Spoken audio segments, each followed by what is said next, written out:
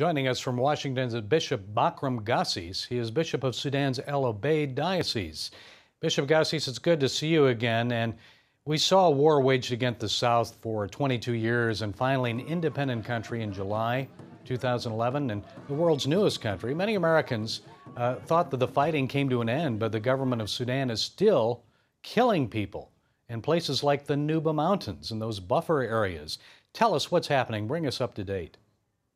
Well, the Nuba Mountains was not included in the comprehensive peace agreement which brought South Sudan to its independence, unfortunately, even though the Nuba uh, liberation movement was part and parcel of the liberation movement of South Sudan.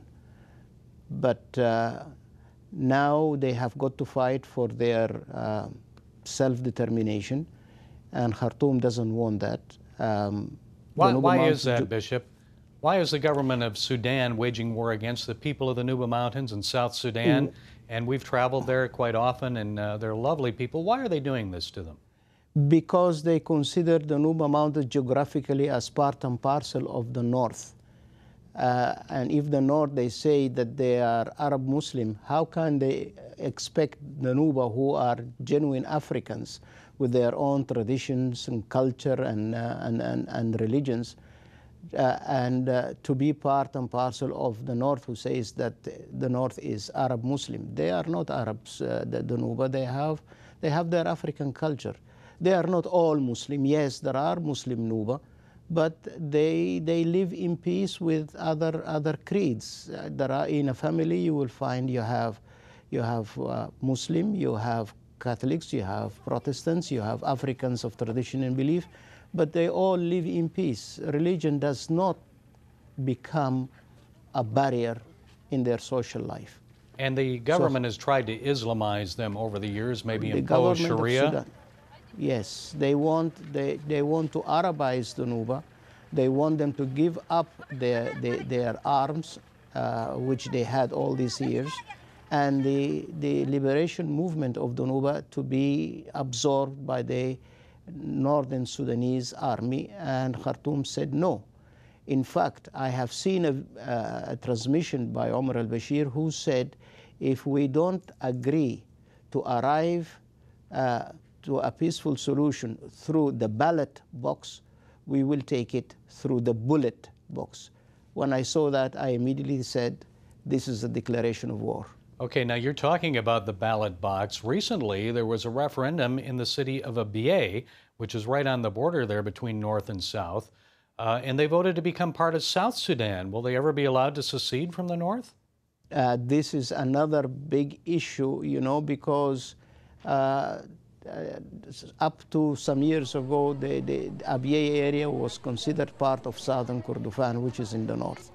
So uh, if you look at the people of, of they are genuinely Dinka uh, tribe.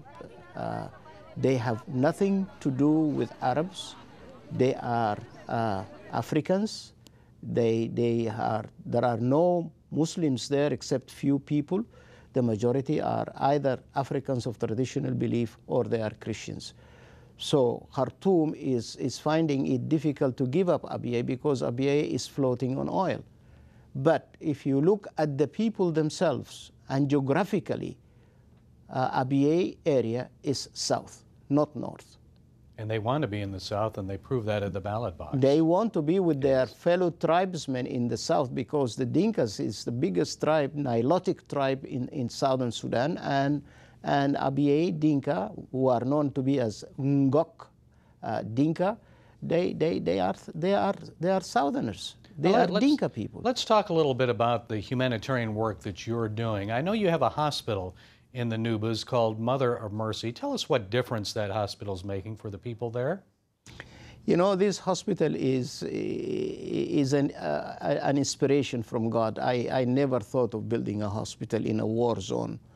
Yes, I accepted to be in a war zone to bring in uh, what do you call water through through uh, drilling water with, with, with a rig which was given to us generously by the United States and to, to start the schools. But unfortunately, that was not the aspiration of the people of, of, of the liberation movement. They said, yes, Bishop, we thank you for bringing us the water.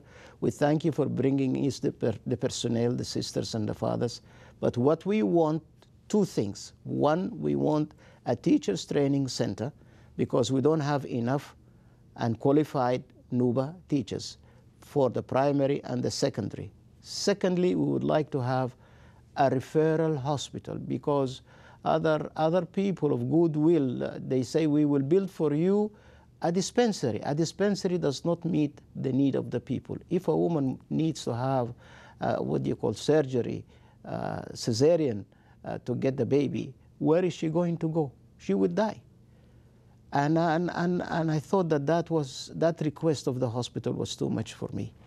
But I, I thought over it. I told him I'm going to pray over it. I'm going to think of, uh, over it, and I will see what I can do. It took me about almost a year before I would say, okay, I will take that challenge and I will, I will start the hospital.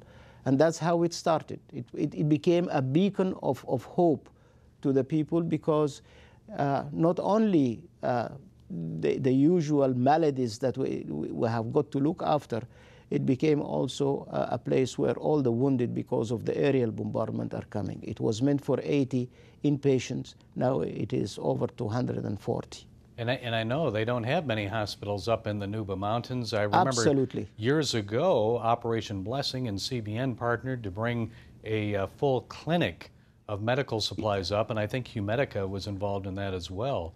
Uh, but yes. the people said, oh, thank you. There's such a need for medical care there. Now, what about the spiritual uh, life of the people? How about the faith of the people? Is the church growing there?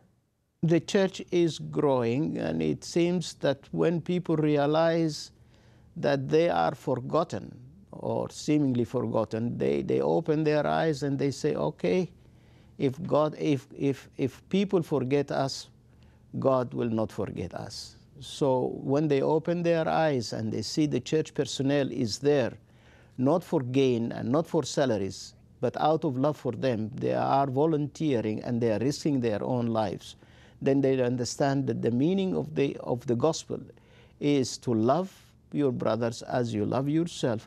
They are there sharing the dangers of being bombed, they are sharing the isolation, they are sharing the heat, they are sharing the privation. And, and now they open their eyes and they say, oh, here there is something that we should look at. And then they join the church. Yeah, in the midst of tragedy, um, many Muslims are actually coming to faith in Christ as well. Isn't that true? Yes, that's true. And you know what? Uh, it is also through their children. The adults join the church because the children go to school. They, they, they, they intermingle among themselves they come to in contact with the other Christian boys, and then they go to their parents and they say, "We want to go with these children, uh, and we want you to come with us." And so they draw their own parents to the church, the children themselves, the students. But of course, the, the, the elders they see exactly as I said before, that the church has become their, their beacon of salvation. And Bishop Gassis, I can't allow you to leave us without talking about the treatment of Christians elsewhere in Sudan like Khartoum. We've heard that there's been a mass exodus, there's intense persecution there. What can you tell us about what is happening to Christians in that part of Sudan? Well, uh, the, the, the, the, issue of, of putting, uh, you know, barriers and hurdles in front of the Christians has always been, but not to that extent. Uh, before the independence of the South, at least the presence of Southerners in the North in key posts helped us to go ahead. Now, we have none of them there. So now there is pressure not to get any more personnel, missionary personnel from the outside. There is pressure that areas where we have our, our, our shacks there among the, the, the people on the peripheries, they are taking them away from us under various excuses that they want to open a road, that this place is not surveyed and has to be surveyed. Uh, we don't have any more the possibilities of building churches anymore now in, in, in northern Sudan. So we have to arrange with what we have I don't know. Southerners now are not looked up after favorably. They tell them you are foreigners, you are unwanted here, why don't you go back to your country? Likewise, for the Nuba are living up in the north, uh, they are going through a, a, kind of oppression because they know that uh, the Nuba are also becoming rebels. They don't want to stay with the, with the Khartoum regime. And so they are also looked down by the Northerners. The situation is becoming very grim for the Christians. To be a Christian today, it means you should have faith and you should accept the challenge. Well, finally, then, what can we do here in the United States to help, and how can we pray for them?